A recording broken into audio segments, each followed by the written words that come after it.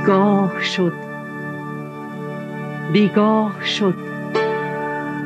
خورشید اندر چاه شد.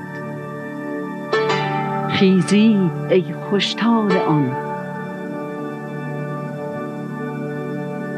وقت طلوع ماه شد.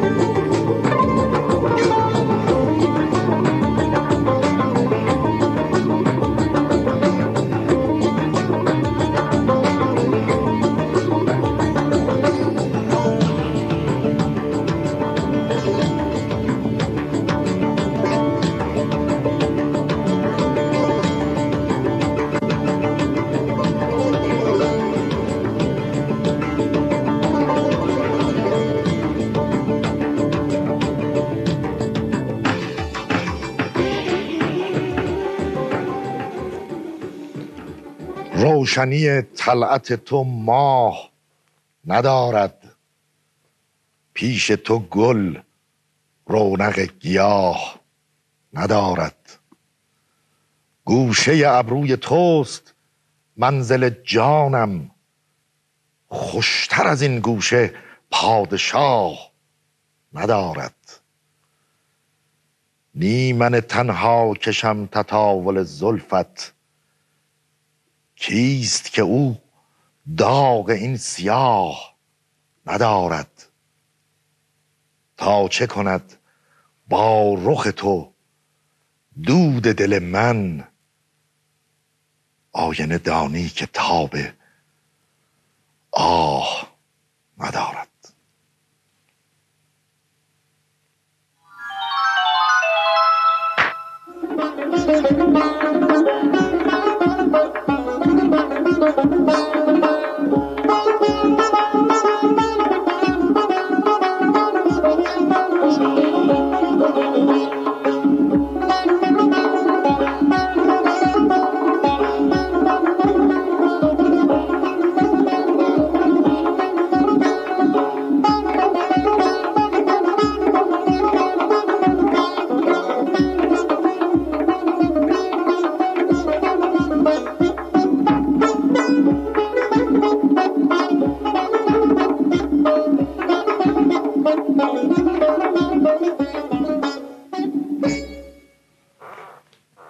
سفر کردن با او تجربه دیگری است. برای مردی با چنین روحی مشتاق در هر مجموعه از کلبه ها یا چادرها گنجینه هایی نهفته است. هر بازار مکانی است بالقوه برای کشفی دور از انتظار و سفر با او یعنی مبتلا شدن به اشتیاق او. به اشتیاق او نسبت به گونه های سرشار فرهنگ ایرانی وی. برای او اشیاء نه فقط به عنوان آثار هنری که به عنوان بخشی از یک سنت فرهنگی جالبند. علاقه او به گردآوری علاوه بر کشف پس زمینه های فرهنگی و ارتباطات هنری اشیاء به گونه گونی عظیم گرد آمده های او بیانجامد قالیچه های تصویری قالیچه های شیری و قفل ها تنها آغاز کارند اشیاء متعدد فولادی و اشیاء پرشمار دیگری که از فلزات ساخته شده علاقه شخصی او را به فلز در مقام یک پیکر تراش منعکس می کند دکتر جیمز آلن استاد دانشگاه اکسفورد و رئیس بخش هنرهای اسلامی موزه آشمولیان و یکی از معتبرترین متخصصان در زمینه های هنرهای اسلامی. در سال 1316 در تهران متولد شد. بعد از تحصیلات مقدماتی وارد هنرستان هنرهای زیبای پسران شد و در سال 1334 از آنجا فارغ تحصیل می شود او در هنرستان در رشته پیکرسازی تحصیل می کرد در همان سال یعنی 1334 برای تحصیل به کارارای ایتالیا می رود و بعد از دو سال به ایران باز می گردد. چند نمایشگاه در ایران برپا می کند و در همان سال به شهر میلان می رود و تحصیلات خود را در زمینه مجسم سازی ادامه می دهد. در سال 1339 به ایران باز می گردد و در این هنگام تمام آموخته هایش را به کناری می نهد و شیوه جدید را آغاز می کند شیوه مبتنی بر فرهنگ غنی ایرانی و اسلامی. و در همین دوران است که به علاقه های قدیمیش ادامه می دهد و با نگاهی تازه و پس از سالها تحقیق در فرهنگ غرب به ریشه های هنر اقوام مختلف ایرانی توجه می کند و از آنها الهام می گیرد در ابتدای دهه چهل شمسی مکتب سقاخانه را به جامعه هنری ایران معرفی می کند و کم کم جهان با نامی تازه آشنا می شود او از مؤسسین دانشکده هنرهای تزئینی است و سالها در این دانشکده و در دانشکده هنرهای زیبای دانشگاه تهران تدریس کرده و از آنجا بازنشسته شده است. همچنین در دانشگاه هملن در آمریکا و دانشگاه مینیاپولیس آمریکا تدریس کرده است. او به خاطر هنرش جوایز بسیاری را از آن خود کرده که از آن میان می‌توان جوایز اول بینال اول و دوم تهران و نیز جایزه مجسم سازان دانشگاه مینیاپولیس در آمریکا و جایزه بنیاد مکمولان واشنگتن را نام برد. همچنین جایزه مجسم سازی پنج ایالت شمال غربی آمریکا برنده دیپلم افتخار از موزه هنرهای زیبای وین در کشور اتریش و موزه آخن در کشور آلمان.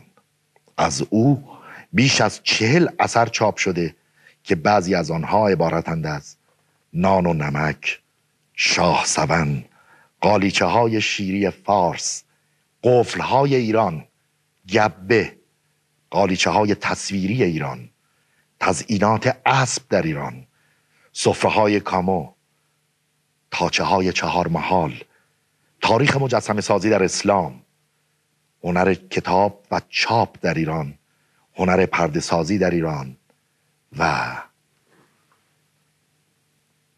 استاد پرویز تناولی. سلام عرض می‌کنم استاد. به برنامه طلوع ماه بسیار خوش آمدید. من مفتخر هستم که در کنار یکی از مفاخر بزرگ هنر ایران نشستم.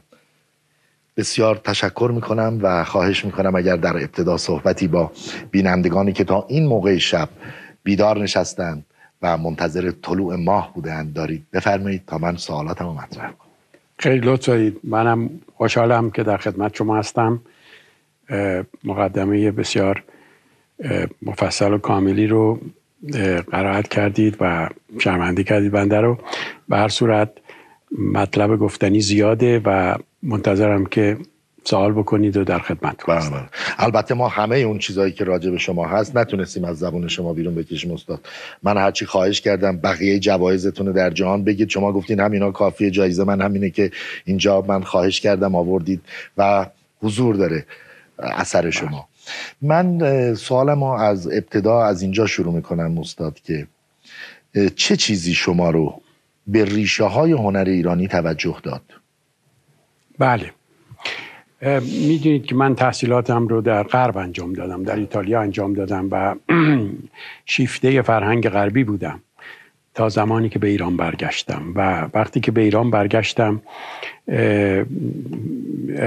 نوع زندگیم و نوع هنرم شدیداً اروپایی و ایتالیایی بود و آنچنان تحت تاثیر هنر به خصوص ایتالیا قرار گرفته بودم که در همون مکاتب کار می‌کردم. اما در ایران درهای دیگری به روی من باز شد و همون در آغاز کار سعادتی بود که پای من به مناطق جنوب شهری باز شد و به کارگاه هایی که در اونجا اصناف مختلف کار می‌کردن و در اونجا هم نشینی با این اساتید بومی از محلی چنان من تحت تاثیر قرار داد. فروتنی تواضعشون مهمون نوازیشون و مهارتی که در هر یکی از اونها در کارهاشون داشتن که در حقیقت یک انقلابی در من به وجود اومد و تمام توجه هم به فرهنگ ناشناخته ای که از کشور خودم داشتم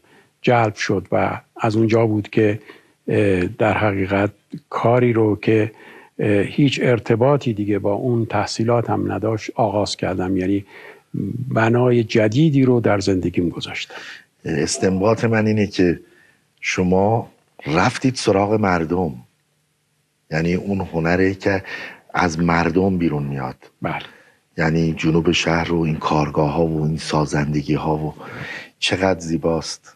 چقدر شیرین فرمودید که تحت تاثیر هنر غرب بودید و این سعادت رو یافتید که تو دل مردم برین و از اونها الهام بگیرید. پس ریشه الهام شما از دستهای صنعتگرای پایین شهر و مردم عادی بوده که کنارشون نشست بله.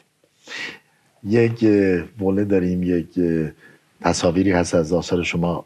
اینا رو ببینید. بله. بعد من سوالات بعدی رو مطرح خواهم کرد. چقدر لذت داره با شما صحبت کردن که از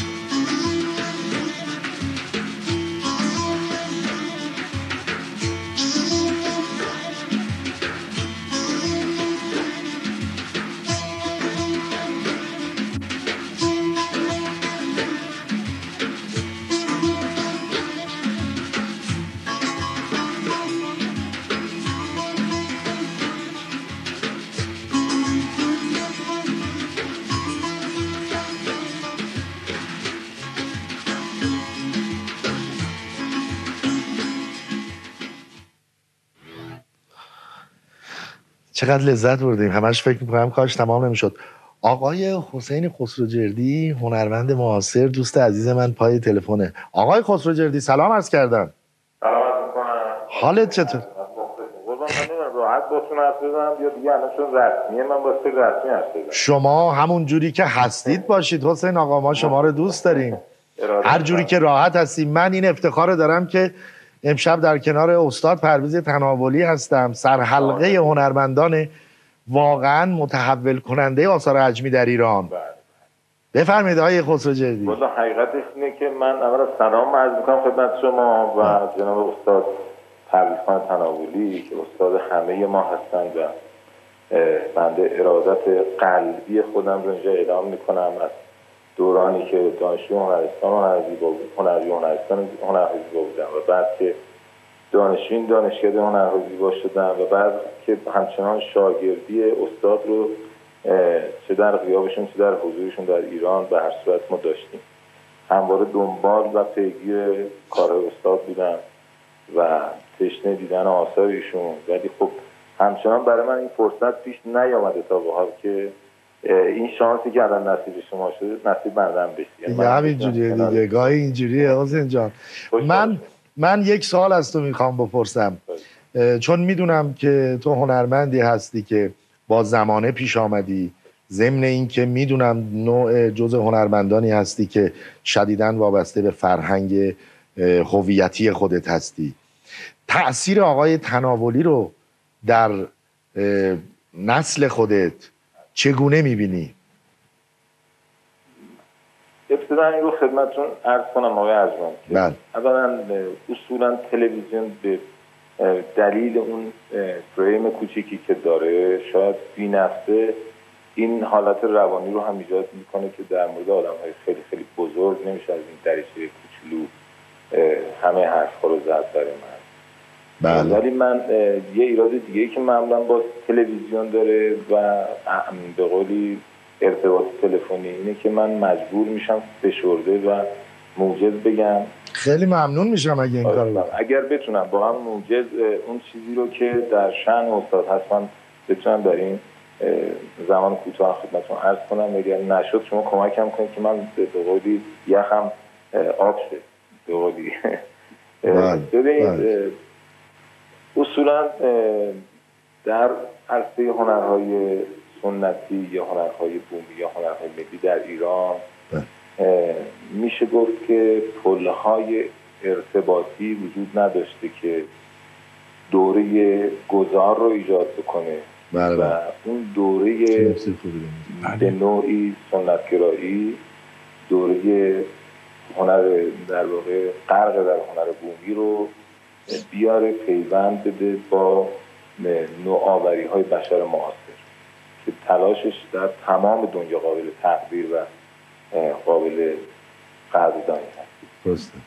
معمولا آدم برای ارتباط این دوران تمدن تمدن بشری در تاریخ تمدن بشر یک نقش بسیار حساس دقیق و بسیار کارساز ایجاد می‌کنند که اصولا اینها این نوع افراد گرانبهاترین ارزش های ملی و بشری رو معمولا میآفرینند بله. کار کار بسیار حساسی بسیار کار به نظر من کار سختی و بسیار هم کار کار مقدسی برای اینکه اصولا این گونه آدم ها اهل احترام و اهل ادب هستند اهل مراعات هستند اهل اه، ادب هستند و احترام و به همین دلیل مواظب این هستند که با دقت و با مطالعه اگر قراری هست که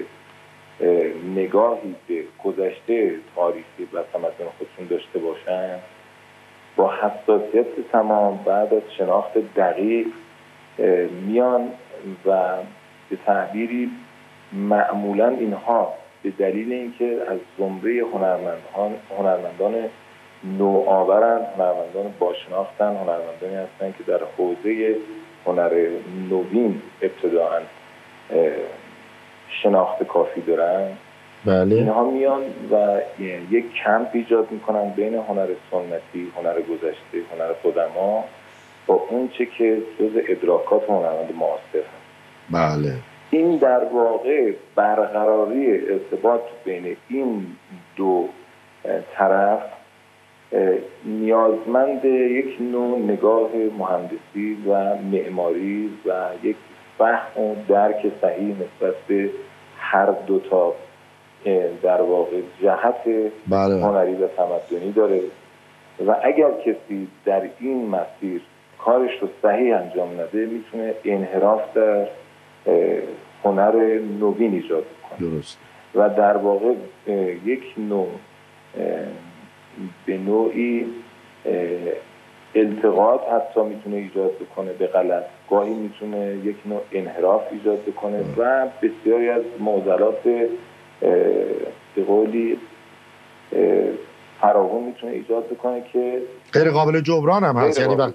بله وقتی بله. اون درست. حساسیت کار استاد تنولی به عقیده من در این بوده که هر دو دوره رو به خوبی میشناخته. هر دو دوره رو به خوبی درک می‌کرده و خودش رو به جنس هویتی هر دو اینها نزدیک کرده. صرف نگاه سوری نبوده به ماجرا. یعنی اگر ایشون فقط با چشم سر نگاه می‌کرد می‌تونست مثل بسیاری از محققینی که جمعآوری کردن بسیاری اطلاعات رو در تاریخ هنر می‌تونست فقط اطلاعات سطحی رو از دوره های مختلف به دوره های دیگه منتقل بکنه چنانچه ما مستشرقین داشتیم که آمدن در حوزه هنر دینی ما هم تحقیق کردن اما اینا فقط اطلاعات منتقل کردن ما بله. ما نتونستیم در واقع خودمون رو در جایگاهی که امروز قرار دادیم به عمق نتونستیم برسیم. دقیقا نتونستیم. بله. میشه گفت که شاید پرویز تناولی بله. که اسم ایشون هم به قولی نیاز به گفتن حتی استاد پرویز تناولی نداره دیگه. وقتی میگیم پرویز تناولی دیگه بله. مترادف است با اون بله، چیزی در که ذیل کلمه در واقع اسم ایشون معنی پیدا می‌کنه. کمتر کسی رو داشتیم که از این زمره باشن و من می‌تونم تک و توک اسم ببرم با اجازه استاد تناولی مثلا آیدین آقاشلو از این جمله. و آدم هایی که ارادت به هنر گذشته خودشون دارند و نکات قشنگی که شما گفتید کشف پس زمینه های فرهنگی و این ارادت ارادت بسیار بله. بسیار متشکرم حسین جان.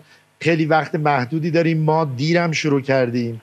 من می‌خواستم از زبان یک هنرمند معاصر یک نقاش و کسی کار حجمی هم می‌کنه کارهای تو رو من آشنام.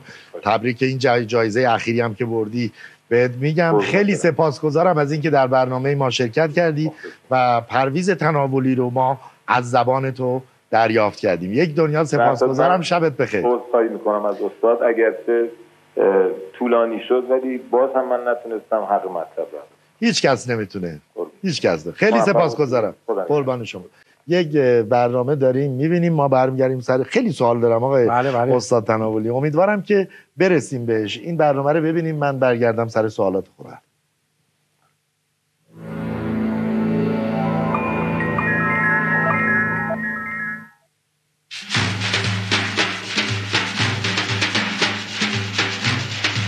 در بطن هر یک از این حجم ها و مجسمه ها مفاهیم عمیق هنری، تاریخی و فرهنگی وجود داره.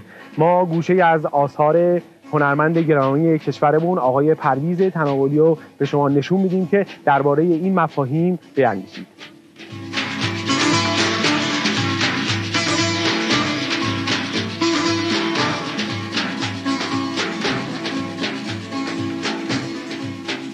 شما نام هنرمندی که این حجم رو طراحی کردن می‌دونی؟ نه. بعد از دیدن این حجم چه احساسی به شما دست داد؟ یا چه چیزی از این حجم فهمیدید احساس خاصی بهم دست نداد اما یه حجم خیلی طبیعیه. مثل حجمای دیگه کارهای دیگه.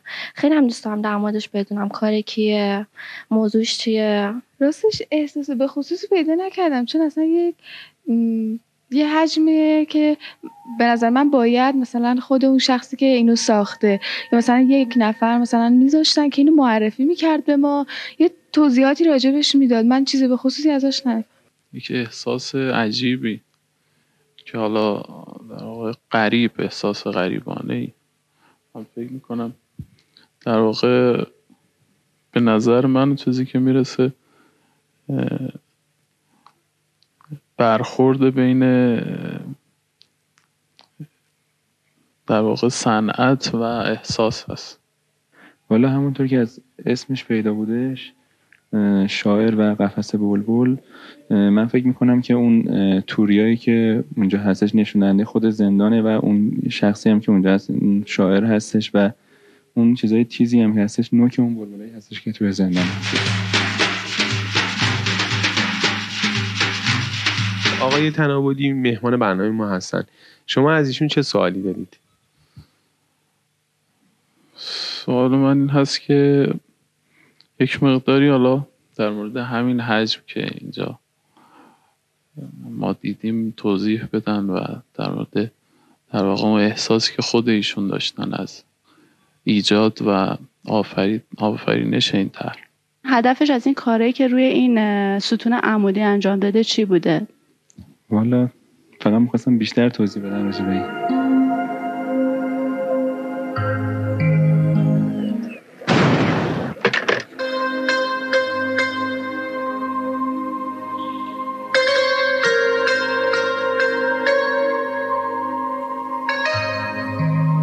شما نام هنرمندی که طراح این حجم هستن رو می‌دونید بله آقای پرویز تناولی. شما از دیدن این حجم چه مفهومی دریافت کردید؟ چه حسی به شما دست داد؟ من با دیدن این حجم یاد گذشته و تاریخ قدیم ایران و کهن خودم میفتم فکر می‌کنم یه حس مذهبی و یه حالت آینه مذهبی داره توش که می‌خواد مذهب دین ما رو نشون بده در صورتی که یک حالت معاصر رو هنر معاصر هم توش پیدا میشه. آقای تنابودی مهمان برنامه ما هستن. شما از ایشون چه سوالی دارید و سوالی که دارم ازش اینه که می‌خوام بپرسم هنوز ایشون این کارا رو این سبکار رو باز ادامه دادن و روش کار می‌کنن یا کارهای جدیدتری دارن که به موزه و به مردم ایران ارائه بدن؟ و سوالی دیگه ای که دارم اینه که می‌خوام بپرسم که از چه سالیه و در کجایشون به کارهاشون می‌پردازن و چند ساله این کار مشغول هست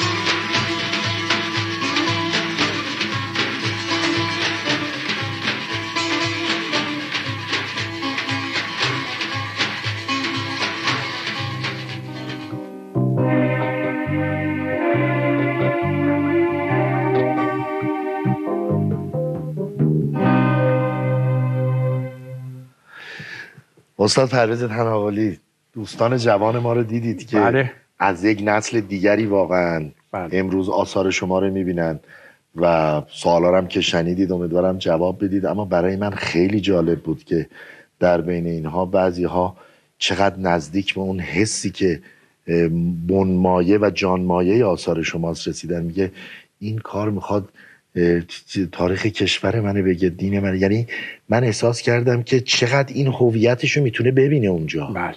بله خیلی نزدیک شدن.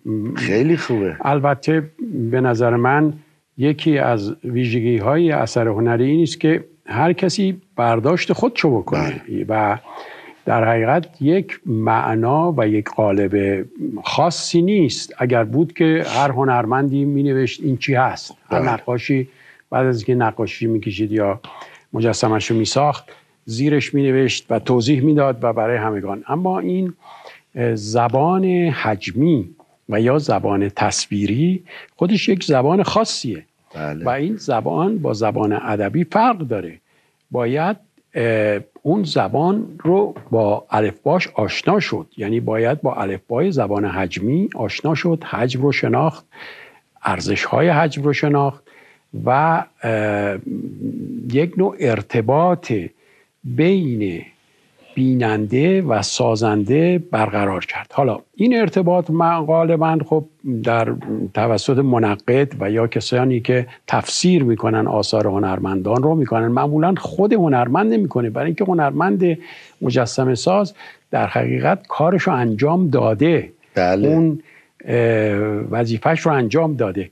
اینجا یک واسطه هایی هستند که ما در کشورمون خیلی متاسفانه فقیریم در این زمینه نقد می‌کنن نقد هنری می‌کنن و اینها رو بررسی می‌کنن تفسیر می‌کنن و برای مردم روشن می‌کنن اما حالا با این وجود من خیلی خوشحالم همیشه همیشه وقتی از من سوال می‌کنن کارامو تفسیر می‌کنم یکی از بینندگان حرف خیلی خوبی زد گفت من یاد فرهنگ گذشتمون میندازه بله. و و در قالب نو قالب مدرن. و این دقیقا به همین سادگی که ایشون گفت هست. یعنی ما اون فرهنگ گذشته ما رو اگر بخوایم به صورت یک چکیده ای در بیاریم یک جوهری در بیاریم که اون رو در یک فرم تازه ای فرم ساخته نشده ای نشناخته شده ای این رو عرضه بکنیم این همون است که من دنبالش بودم. و همون مجسمه ای که در موزه نشون دادن که مجسمه شاعر و قفس بود مجسمه فرهاد کوکنه که مثل شبیه یک مثل یک حرف ت ت انگلیسیه تی انگلیسی میمونه. یک ستون بالا رفته روش یک حجم سنگینی قرار گرفته. اون در مخیله من در تخیل من این یک وزن یک حجم بزرگیه که روی بدن فرهاد مثل یک کوهی قرار گرفته و این در اون زیر فرهاد کوکن داستاناشو می‌دونید. بله. و در اون زیر این ویژگی هایی که من از فرهاد دارم اون از همه مهمتر اون عشقش اون عشقی که به کارش داشت عشقی که به شیرین داشت اون رو در به صورت یک پرنده ای که در قلبش زنده است و اون رو نشون دادم ارز کنم خدمت شما قفل هایی که به بدنش به دست بالش بسته شده و آنچنان کاری ازش بر نمیاد دنبال نمادهای تصویری که سر فرهاد رو بسازم چشماش رو بسازم ابروش رو بسازم رایج بوده؟ رایج بوده نرفتم بل بعد- اه، بلکه دنبال ارائه مفهوم کردی مفهوم معانی که در برای از فرهاد داشتم کردم. و یا مجسمه دیگری که نشون دادن که تقریبا یک سقاخونه و یا یک زریحیه اما در شبه و شمای یک حالت انسانی داره ایستاده. این سقاخونه ای نیست که شما برید با سقاخونه های دیگه یک برداشتی از اون یک نگاهی به اون اما با یک قالب دیگر. من سوالی که داشتم این بود که بپرسم منبع الهام شما برای ساخت و ساز این نوع مجسمه ها چی بوده؟ اما چون اشاره به سقاخونه کردید شما یک مکتبی رو اصلا ارائه کردید که بعد در جهان هم این شناخته شده تو عرایز بندم بود در اول. راجع به این مکتب سقاخانه یه توضیح بدید. بله. به حال اون باز جزو یکی از شاخصه های هویتی ماست. بله. بله کاملا. ارز کنم که منبع الهام من منابعیه که در هنر آمیانه بسیار غنی است. این منابع هنر ما اگر هنر ایران رو بخوایم تعریف بکنیم باید به دو بخش تقسیم کنیم. یکی هنرهای درباری که آثار بسیار درخشانی می‌بینیم در کتابهای مصورمون کتابهای شاهنامه کتابهای خطی. خطهای بسیار زیبا ساختمان های بسیار زیبا مثل آلی قاپو مثل مساجد زیبا. اینا هنرهای درباری یعنی هنرمندان بسیار تراز اول و مؤمن. مؤمن که اما با هزینه. توسط بله. منتها اینا در خدمت دربار بودن. و قدرشون هم می‌دونستن. سفارشات بسیار مهم و بزرگی می‌دادن. آثار یک نوع هنری داریم که هنر مردمیه. اینها سابکار نداشتن. اینها خودجوشه. اینا خود این هنر از زمین جوشیده اومده بیرون. اینا مردمی از کوچه و بازارن. در کوچه و بازار آثاری به وجود آوردن که من تحت تاثیر این قسمت دوم بیشتر بودم نه تحت تاثیر قسمت اول. این هنر رو اسمشو گذاشتن منقدینی که بعدا این آثار بنده رو دوستان همکاران منو بررسی کردن گذاشتن اسمش هنر سقاخانه. یعنی هنر هنر سقاخانه ای هنری است که سقاخانه رو چه کسانی می‌سازن؟ مردم کوچه و بازار می‌سازن نظر می‌کنن یکی میاد پنجرهش رو می‌سازه یکی یک منبع آب براش می‌ذاره یکی نظر می‌کنه میاد یک شمایلی رو می‌خره می‌ذاره توش یکی دست فرض بکنید که نمادی از از دست حضرت ابوالفضل می‌ذاره. مجموع اینها رو میگن اسمش گذاشتن هنر سقاخانه. ای که خیلی هم بجاست و خیلی آقای تناولی من متوجه نکته ای شدم. ببینید به هر حال ما کشور مسلمانی هستیم و به خصوص شیعه ایم. و خیلی جالبه که این مکتب رو به نظر من این مکتب حجمی که شما به وجود آوردید به اعتقاد من این مکتب شیعی اصلا. برای اینکه سقاخانه اون پنجه شمایل حضرت ابوالفضل علیه السلام اینا همه مربوط به فرهنگ شیعه است. فرهنگ آشورایی چون سقاخانه اصلا فرهنگ آشورایی است.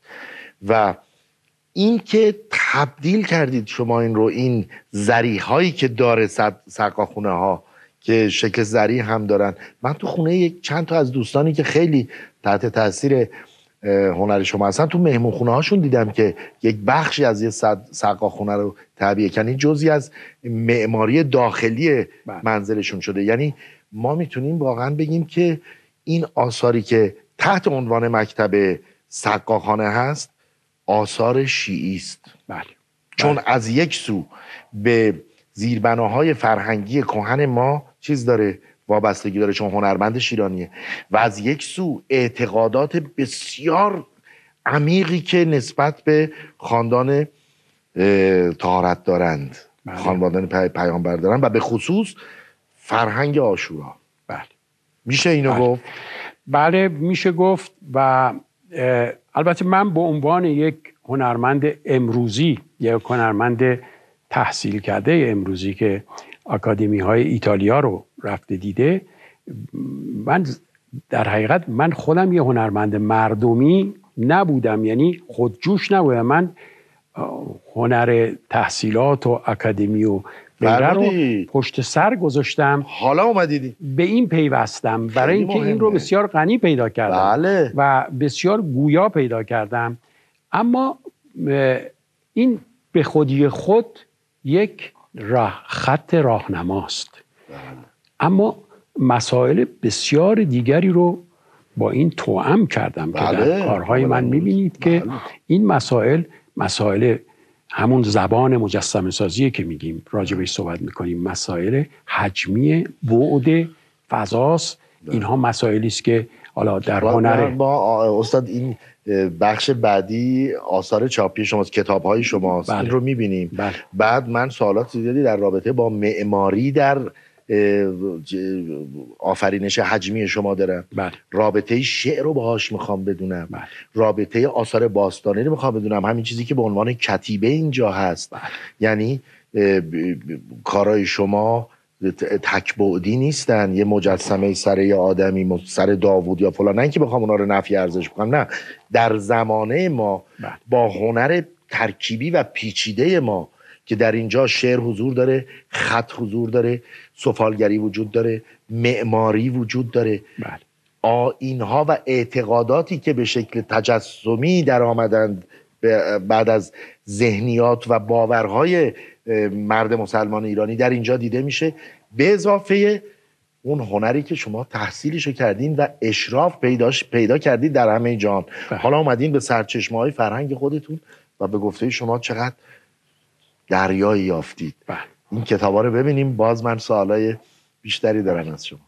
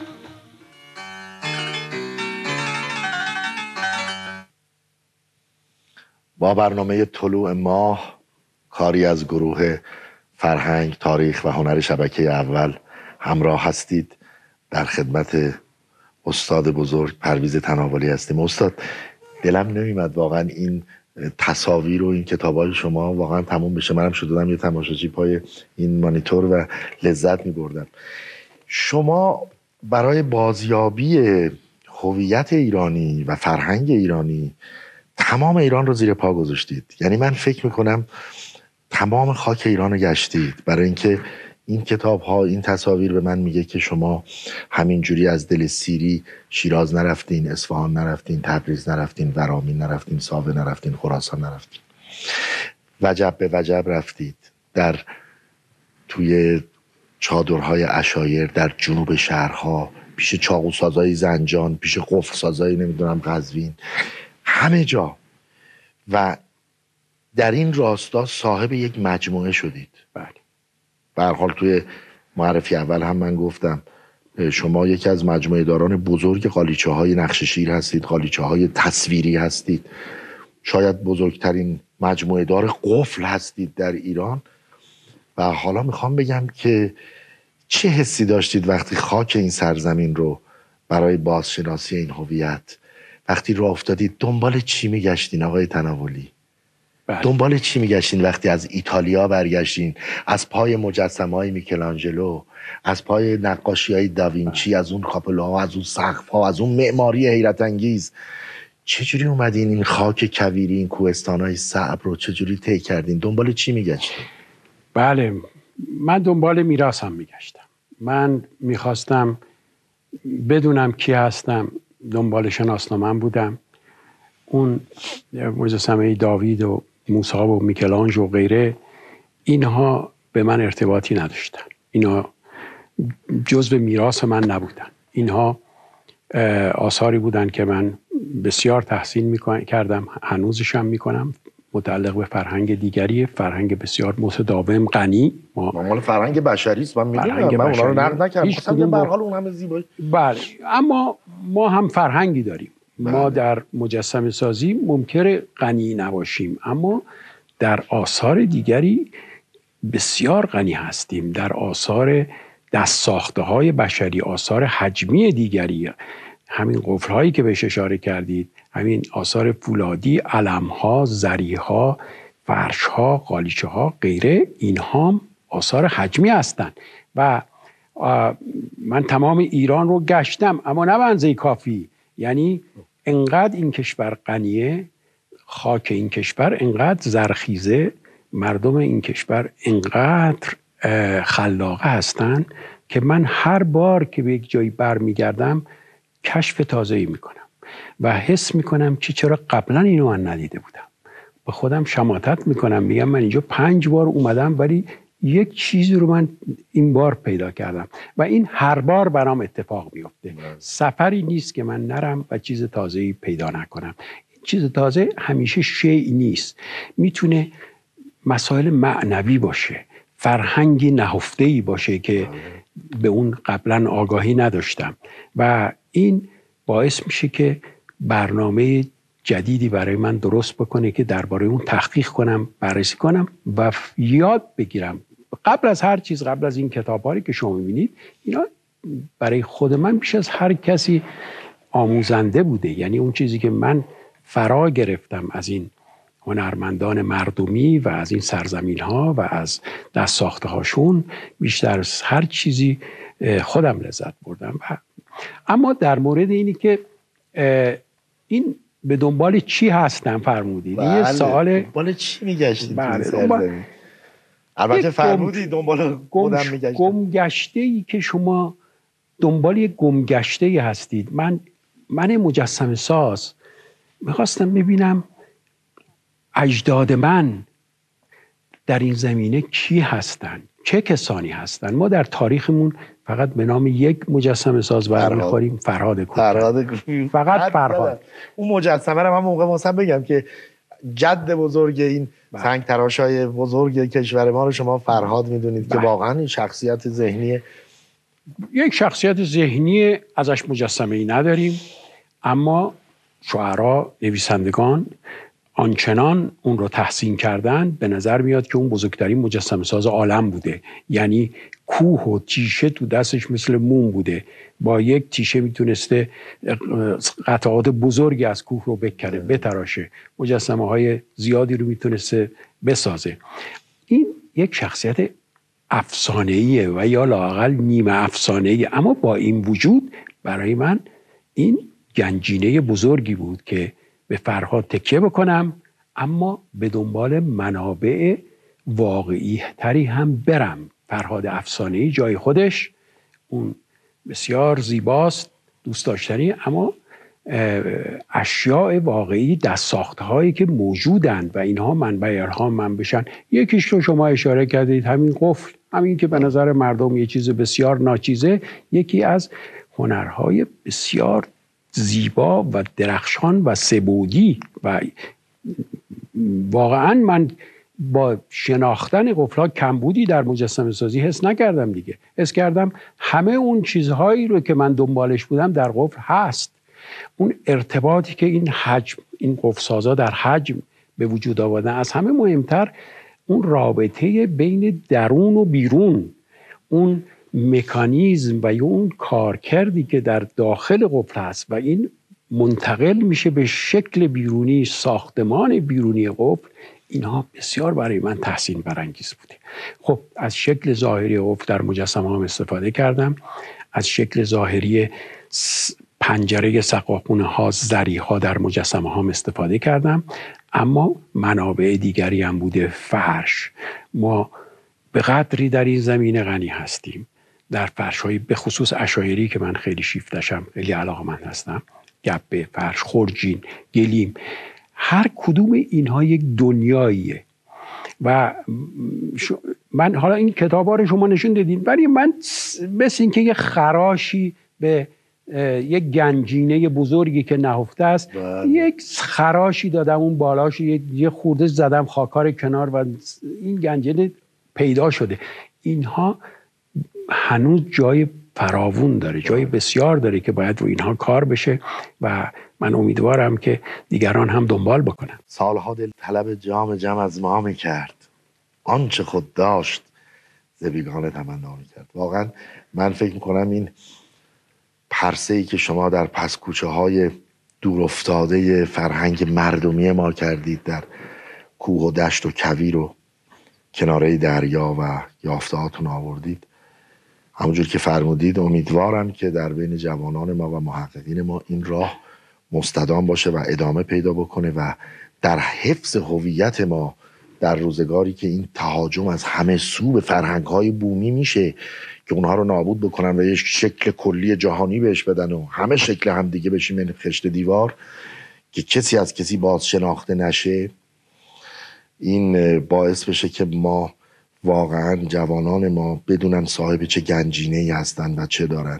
من می‌خوام سوال کنم از شما که این بحث قفل قفل که فرمودید و این راز درون قفل و شکل معماری بیرونش که خیلی شبیه اصولا معماری با ما یه معماری درونگرا داریم که قفل شما می‌بینید وسط کویر چهار تا دیوار می‌بینین اما در که با می‌کنین میرین تو تمام بهشت اونجاست. دیوارا با گچبری های عجیب و غریب پرنده درخت.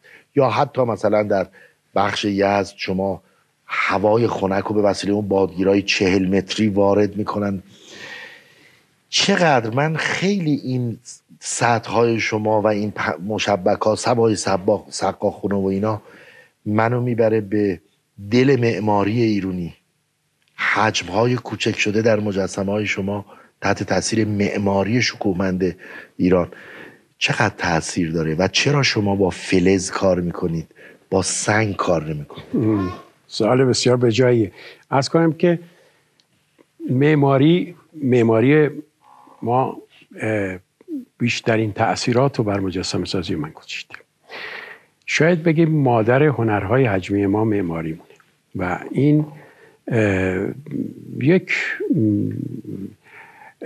مجموعه بسیار تکاملی یافته است که سنت های چند صد ساله و گاهی هزار ساله پشت سر داره. یعنی یک چیز خودساخته ای نیست. هم یه نوع معماری مردمی داریم که معماری کبیری رو بهش اشاره کردین. هم یه معماری شهری داریم که در بناهای بسیار معظمی که در شهرهای مختلف اون اصفهان شیراز و قزوین و غیره داریم. در معماری ما اولا تناسبات بسیار بجا و انسانیه. معماری ما یک معماری درندشت و حیولا و قولگونه نیست. این معماری در حد نیاز روزمره ساخته شده. این اون چیزی است که من بسیار تحسین می‌کنم. یعنی دری که شما وارد این میشید درست اندازه نیازی است که شما دارید. این دری نیست که فرزن در یک کلیسای نمی‌دونم اروپایی نیست که ابهت برانگیز باشه تحسین برانگیز تبخر و نه متواضعانه است و در کوچکی است. دیوار اتاقها این تاخچه هایی که در اون گذاشته شده همه اینها دلایلی هم پشت سرش داره. هر تاخچه برای جای خاصیه. هر دیواری به دلیلی ساخته شده معنایی داره و با اون تزئینات داخلی که در اون انجام میشه. نتیجتا معماری ما هم از درون بسیار زنده است هم از بیرون. و این رابطه تنگاتنگی هم با هم داره. و این تناسبات خب منو کار دو کارهای من خیلی موثر بوده خیلی اثر گذاشته. به خصوص که من قبلا هم با هم صحبت کردیم. ما سنت مجسم سازی به مفهوم کلاسیک خودش که در یونان و روم و باستان بوده بدنسازی و غیره اینا ما نداشتیم. ما یه سنت حجم سازی داشتیم ولی سنت مجسم سازی با اون صورت نشتیم معماری به راحتی جایگزین اون شده. و این معماری به ویژه معماری دو نوع معماری یکی معماری اسلامی که میراث بسیار گرانباهیه این در مساجد ما دیده میشه. شبکه هایی که برای عبور نور از بیرون به درونه و برای هم جلوگیری از نور زیاد برای اینکه می‌خواید شما دارای یک نور کافی ملایم. ملایم در داخل باشید و به عبادت بپردازید و از نور شدید نمی‌خواید پرهیز می‌کنید و اونجا. و هم این است که به نور به هر حال احتیاج دارید. و اگر توجه کنید ببینید با چه مهارتی این شبکه ها عمل کرد داره و نور رو به درون میاره و با معماری قفل و بست شده. و این در سنگ مرمر وجود نداشت برای من. این که من به فلز پناه بردم من مجسم سازی رو با سنگ تراشی شروع کردم. بله. رفتم به کارارا و اصلا با سنگ تراشی شروع کردم. ولی بعدا متوجه شدم که این سطح مجسمه است که من دنبالشم. این درون مجسمه است و من به داخل سنگ نمی‌تونم بشم.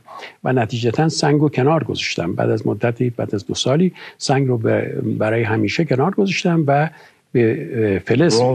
بله به... خب این همون خاصیت معماری است که من گفتم. ببینیم بیشتر بناهایی که ما داریم اونهایی که حالا توی مناطقی که خیلی اصالت دارن درونگرا هستن. یعنی فرض کنید باغ دولت آباد مثلا یزد یا ماهان کرمان. شما از بیرون چیزی نمی‌بینید. بله. از بیرون هیچی نمی‌بینید. ولی اون چیزی که وجود داره تو درونه. طبیعی است که حالا توضیح می‌دید می‌فهمم که شما با سنگ مرمر یا سنگ خارا می‌تونید توش توش ولی فلز این امکان به شما میده که دسترسی داشته باشید و از درون حرف بزنید. بله.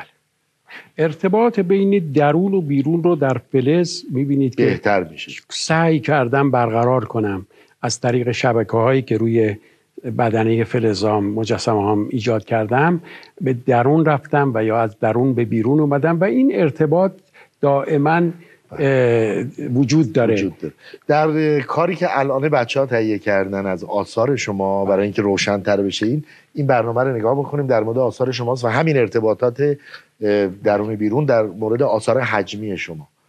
خیلی وقت کم داریم. من عجله می‌کنم که زودتر به همه چیز برسیم.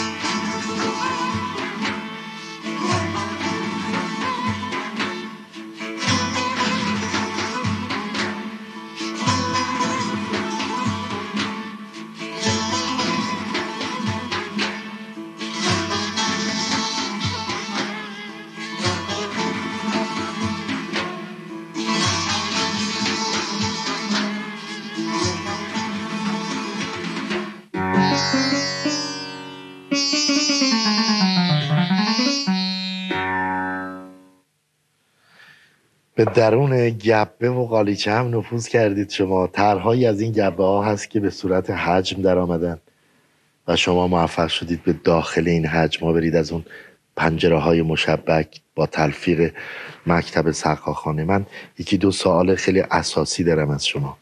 یکی اینه که چون شما نمایشگاهی بسیاری در خارج داشتید به عنوان یک مجموعه دار هم به حال شهرت بین المللی دارید در رابطه با گبه و قفل. می‌خوام ببینم آثار حجمی شما مجسمه های شما و مجموعه های شما چقدر از فرهنگ و شناسنامه و هویت و تمدن ما تونست با خودش اونجا ببره و باعث گفتگو بشه و چقدر به اصطلاح جاذب بود برای اونها؟ چقدر تونست حرف بزنه با اونا راجع به هویت ما؟ اون چیزی که امروز به گفتگوی تمدن ها معروف است و من معتقدم که حقیقی ترین گفتگو رو در باب تمدن ها هنرمندان می‌کنن این اعتقاد قلبی من ما ده دقیقه هم فکر می‌کنم بیشتر وقت نداریم چون یه سوال دیگه هم دارم. بعد از این دارید. خب من سعی می‌کنم ولی آره یه خورده بذارید اون سوالم حتما بپرسم بله بله. عرض کنم که این نمایش این مجموعه ها و سخنرانی هایی که من در مورد اینها کردم بسیار موثر بود و بودهای تازه رو از هنر ما به غربی ها نشون داده در همه زمین ها بودهای ناشناخته شده ای رو. فرنگی ها خیلی از هنر ما کم می‌دونن. اون چیزهایی که می‌دونن خب می‌دونن. اون یه مقداری هنرهای اصفهان ما رو می‌شناسن تخت جمشید ما رو می‌شناسن. ولی یک هنرهای مردمی ما داریم. مثلا گبه رو تا حدود سی سال پیش اصلا اسمش رو هم نشنیده بودن. وقتی من اولین مقاله رو نوشتم درباره گبه و در یک مجله انگلیسی عکس گبه هایی که خیلی مدرن و امروزی عرضه کردم ایده گفته بودن اینا حتما کارهای خودشه. محاله که یک دونه دهاتی بتونه انقدر مدرن مدرن فکر بکنه انقدر پیشرو باشه. یک دهاتی 100 سال پیش اونم 150 سال پیش. و بعدها فهمیدن که نه این یه واقعیتی یک فرمی از هنر ماست که قدمت زیادی داره و امروز گبه در همه دنیا شناخته شده است و هم هم دوستش دارن در همه جا از این فرش استفاده می‌کنن برای زندگی داخلیشون برای اینکه هماهنگی زیادی داره با مبلمان امروزی. در زمینه هنرهای دیگه در زمینه قالچای شیری در زمینه قفل و در غیر همه اینها. استاد تناولی ببخشید حرفتون رو.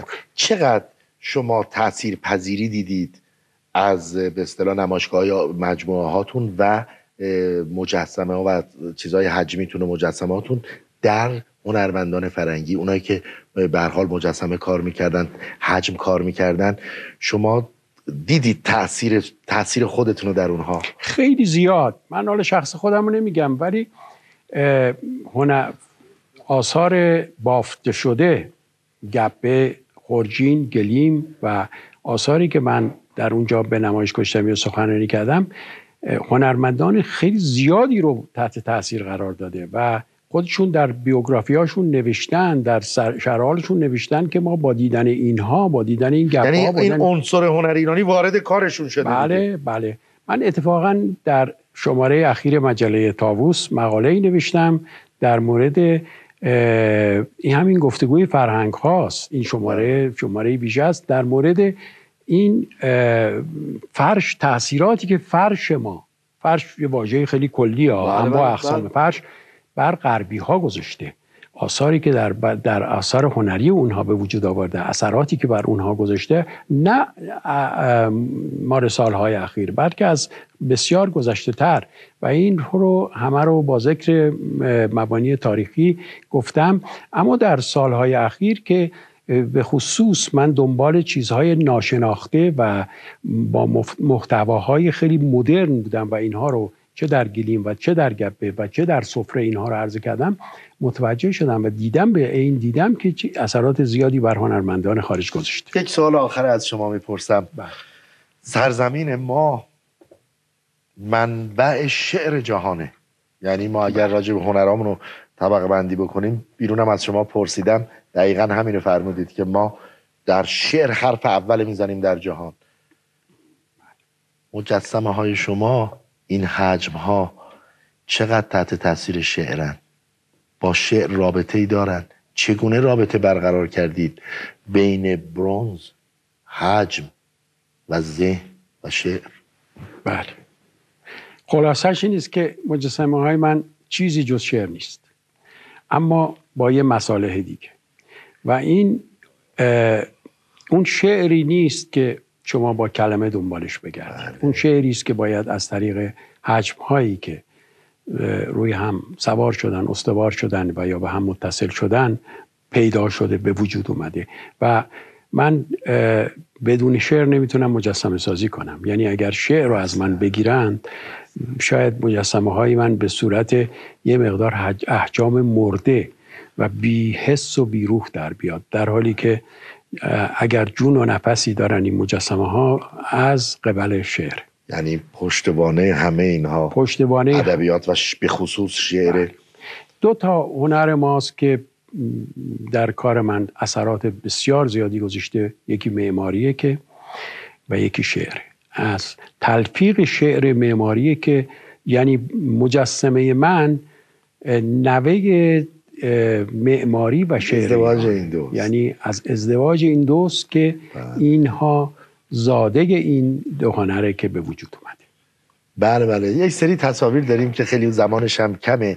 من این هیچی که اینجا هست روی این مجسمه بله. شما که از وقتی من خواهش کردم که یکی از آثارتون رو بیاورید لطف کردید آوردید می‌دونم هم که از مجموعه کسی دیگه گرفتید امانت آوردید. این هیچ بغل کرده. منو یاد شعر سپهری میندازه به پشت هیچ استانم بله. نمی‌دونم این قبل از اون شعر ساخته شده بعد از اون شعر ساخته شده. سپهری دوست من بود و ما نمایشگاه های زیادی با هم گذاشتیم و با هم معاشر بودیم دوست بودیم. پشت هیچستان پشت هیچستان. من نمی‌دونم حالا کدوم اول بود. به نظر من اهمیتی نداره. شعرهای زیادی درباره ولی زیباییش اینه که زیباییش اینه که در مجسمه شما هست در, در شعر, شعر هست, هست در شعر خیام هست, هست در مولانا هست. این تداوم بله. در و این می‌بینید که من در هیچ ها رو در هزار و 342 شروع کردم یعنی حدود سی و ببخشید 45 شروع کردم حدود 35 سال قبل بوده. و یه مدت یه دورانی هم داشته یه دوران ده ساله ای بوده که فقط هیچ می ساختم و بعدش هم به مسائل دیگری پرداختم. برای اینکه دنیا هم هیچ نیست مسائل دیگری هم جز هیچ بله. وجود داره. این یه دقیقه رو می‌بینیم. بعد امیدوارم این سوالم رو برسم از شما بکنم. و اون این است که هنر فولکلور و هنر بومی در همه جهان مورد تهاجم یک مقوله جهانی شدن هست. بله. و من فکر کنم شما یک بخشی رو در این راهپیمایی طاقت فرسا ماراتونی که در ایران کردید و جمع آوری کردید زیر بغل زدید و کنار گذاشتید. حالا واسه بقیهش تو روزگار ما و این جوانهایی که دارن میان چه باید بکنن؟ این یک دقیقه برنامه رو ببینیم بله. اگه فرصت شد این سوال منو پاسخ بدید.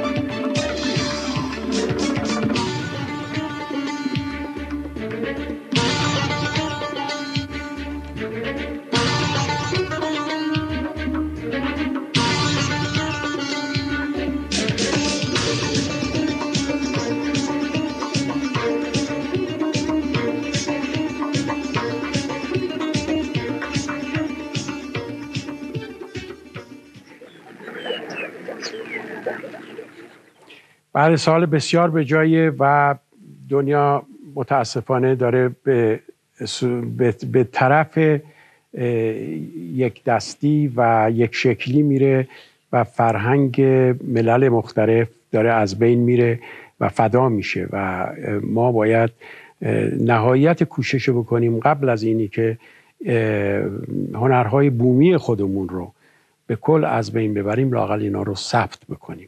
من مخالف میسندلی نیستم اما اگر قرار ما به رو میسندل بشینیم احتیاجی نیست سفره هامون رو از بین ببریم. اونها رو روی دور بله خب این سفره قلمکار زیبا این سفره ای که میشستیم رو زمین دورش میشستیم همه دورش غذا میخوردیم. مواد خوراکیمون روش میشیدیم بعدم جمع می‌کردیم به یه گوشه میذاشتیم. اینا سفره دستساز بود زیبا بود. الان می‌تونه اینو آورد روی میز انداخت. و همینطور بقیه آثار هنریمون آثار دستیمون رو نباید یک ظرف زیبای قلم زنی شده رو بدیم به خاطر یک ظرف کریستال بلور ماشینی قلابی که حقیقتا معنا مفهونه و اونو از روی تاخچمون دراریم بندازیم کنار و یه بلوره که همه جای صدها هزار از روش ساخته شده و بسیار بیمعنا و بیارزشه اون رو جایگزین اون بکنیم. مردم باید به میراثشون اعتقاد پیدا کنن. اون در چوبی که در, در روستا هست این نباید از بین بره سوخته بشه هیزم بشه و درای آهنی و یا درای کرکره بیاد جایگزین اونا بشه. اینها خیلی گسترده است در یک, یک, یک, یک موضوع دو موضوع نیست. در تمام زمینه ها متاسفانه ظروف پلاستیکی داره میاد جای ظروف مسی زیبایی ما رو می‌گیره جای دست ساخته های ما رو می‌گیره.